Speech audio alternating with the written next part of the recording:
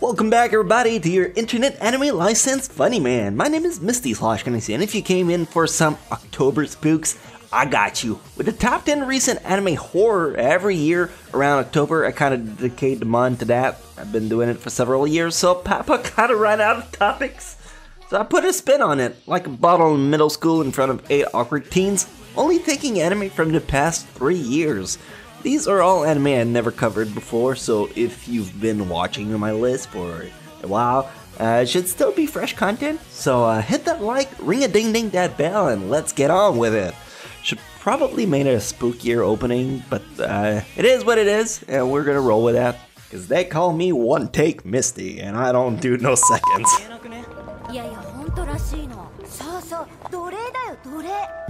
Number 10, Doreiku, the animation. Doreiku is not your traditional horror story, but I feel it still fits this list's purpose.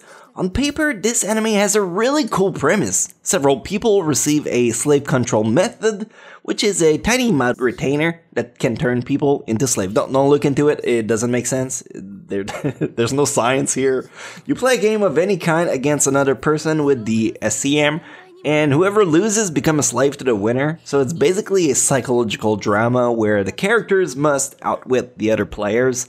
The anime suffers from having too many characters at once and none of which get enough character development. The manga counterpart is full of plot holes, so it's hard for the anime to stand on its own. It's the definition of an edgy anime, but the bad kind.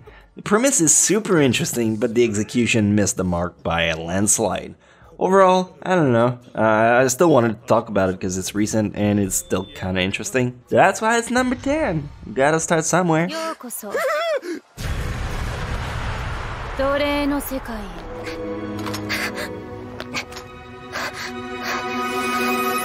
Number 9, Mahou Shoujo Site. Speaking of edgy anime, I have to finally talk about Shoujo Side.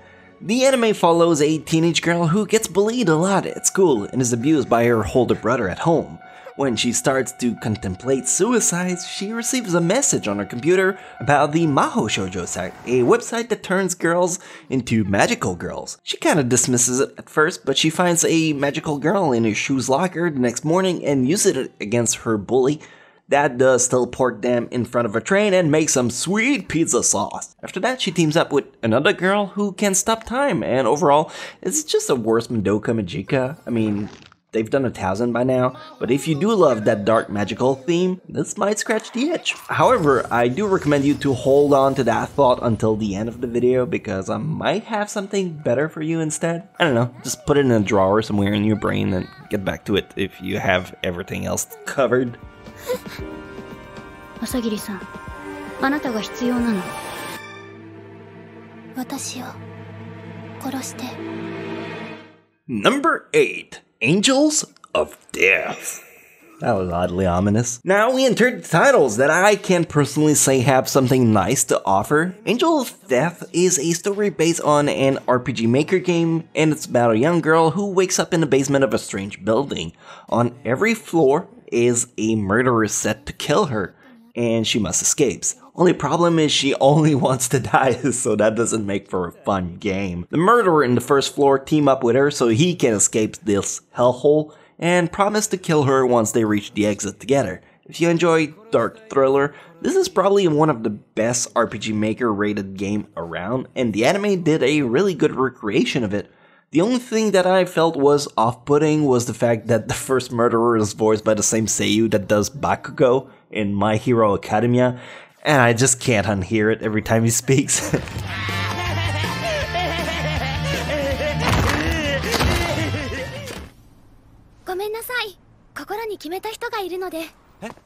A number seven? Happy Sugar Life! Despite the very joyous title, this anime is anything but that. Happy Sugar Life starts off with a sweet young girl who tries her best to get by. She tries to provide for her first love that stays at home while attending school and working a part time job that's incredibly demeaning. People treat her like a slut. The staff bullies her, the manager is a massive coont, but she's so in love with her soulmate that she takes it all with a smile. In the butt. Or so it is what it seems to be like on the surface, when deep down she's a straight maniacal sociopath who would do anything to keep her beloved safe. I've been walking on eggshell in this description to not spoil you anything, but the first episode will make you go, holy shit, what the fuck am I getting myself into? And that's the best shout out I can give this anime.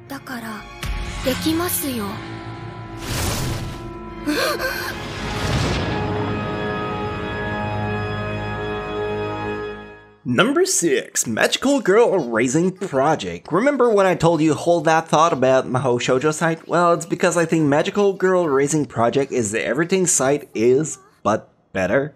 The story is about a city where magical girls are raised to fight against other girls. The dream is to become one of those magical girls to take part of the game until you actually get involved yourself and realize this is a lot more than what you bargained for.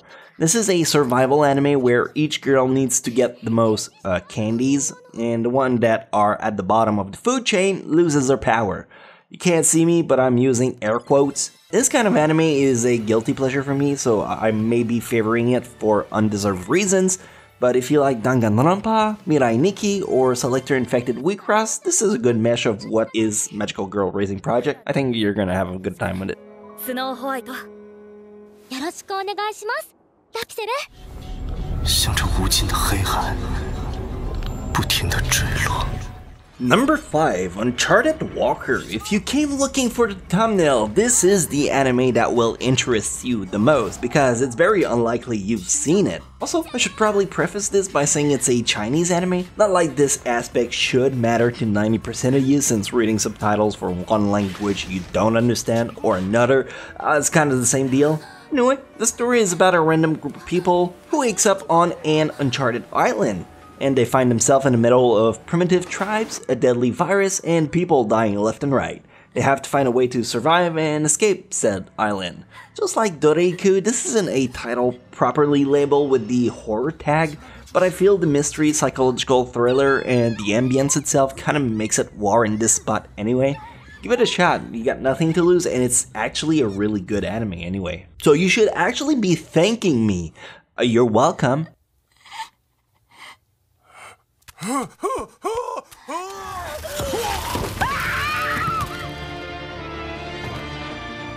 Number 4, Ajin. Out of every title on this list, Ajin is probably the one I've praised out on the most occasion. Despite the visual being in 3D, the show actually offers some really solid writing and interesting characters. The story is about people that are being identified as Ajins, special humans that are immortal. These people with the potential of putting society into chaos. Because again, immortality kind of give you a get out of jail free pass card on everything. Gonna rob a bank? What you gonna do? Shoot me? Uh, yeah, let's see how that goes. So yeah, they're being hunted down to be put in custody before they decide to become evil.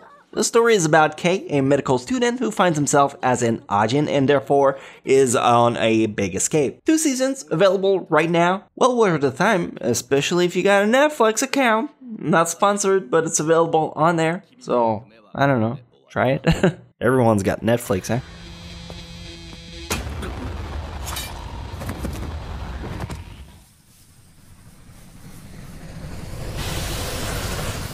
Number 3, Kabaneri of the Iron Fortress. Ever wonder what if the guys that did Attack on Titan made a show about zombies on train? No, of course not. Why would you? In terms of ambience, I would say this is the perfect match between Attack on Titan, God Eater, and Tokyo Ghoul. The story is about a group of people living in a fortified fortress where the only way in and out is via big ass choo choos. Meanwhile, you got zombies, although technically called Kabane, that swarms the place. The only way to Rick Grimes those zombies is to pierce their steel coated heart, and Ikoma, the main character, is the one with a weapon to do the job. They kinda did a Madoka Magica on this one, meaning you can watch the full series or take on the movie trilogy. Movie 1 and 2 kind of catch you up to speed with the story, and number 3 is the proper sequel. Very interesting one.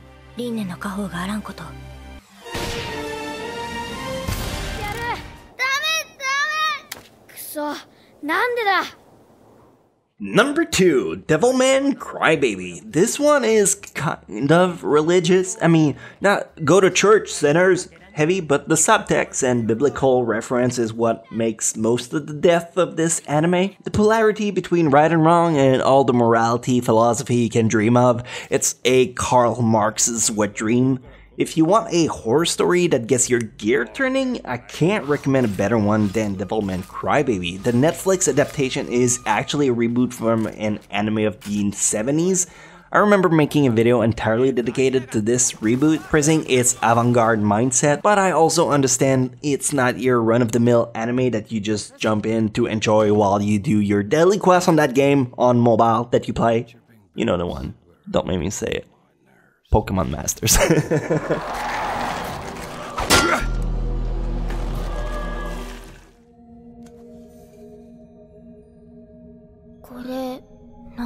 and finally, number one, Promise to Neverland. This is an anime that came out earlier this year and it blew everyone's mind, including my own. The story follows a group of young orphans studying and learning to become smart enough to be adopted and go on living off away from the orphanage. Or so is the lie that they are being fed until one day they realize they're the one being fed.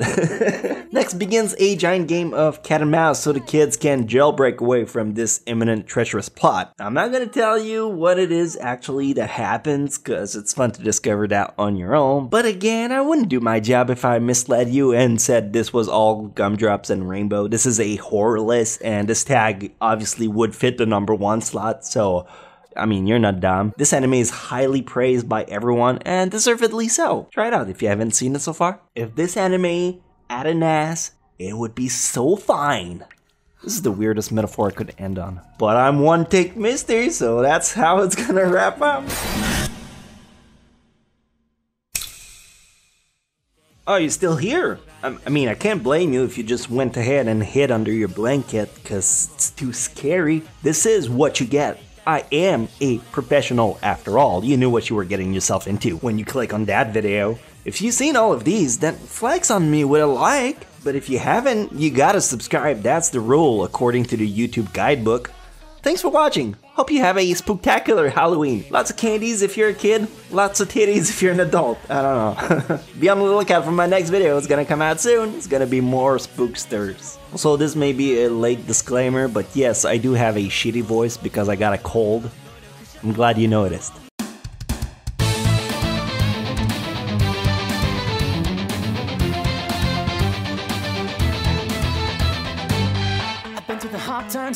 Wrong side, I've been ashamed. So many memories, you know I'd like to change.